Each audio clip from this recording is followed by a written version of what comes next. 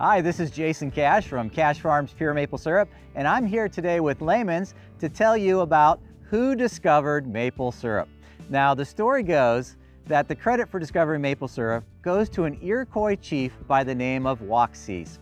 And one day, Woksis was leaving his teepee, and as he was walking towards the woods, he took his tomahawk and he threw it at a nearby tree, and he left it stick there as he went to hunt for the day. Now that tree just happened to be a sugar maple tree, and it also happened to be a day in late winter, early spring. So as the weather warmed up, that tree began to drip sap from where the tomahawk was stuck.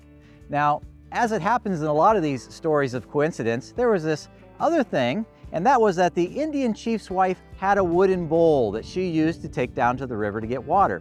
And that wooden bowl just happened to be sitting right underneath where the tomahawk was stuck. So as the sap dripped out of the tree, it collected in the wooden bowl. Now when it came time to make dinner that night, the Indian chief's wife went out to get her wooden bowl to go get some water, and she found that it was already filled with something that looked a lot like water. And she thought, oh man, this is great. I don't have to go down to the river and get water today. I can use what's already in my wooden bowl.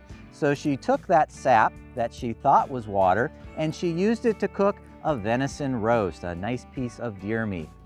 But she noticed that as that roast boiled, it started to look a little funny. First, the water turned kind of a yellowish and then a brownish color, and then it started to foam up quite a bit.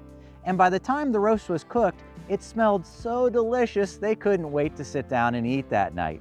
And when they tasted it, they found it was the most delicious thing that they'd ever had before, and they had to figure out where this brown sticky liquid came from. And tracing their steps back, they eventually figured that when you wounded this one particular kind of tree, you could boil the sap and make a nice sweet treat. And that's the story of how maple syrup may have discovered. Hey, thanks for watching. I hope you enjoyed your presentation today. If you need any maple equipment or supplies, make sure you visit Lehman's on the square in Kidron or lehmans.com. Happy sugaring. Let us help you take the next step on your journey to a simpler life.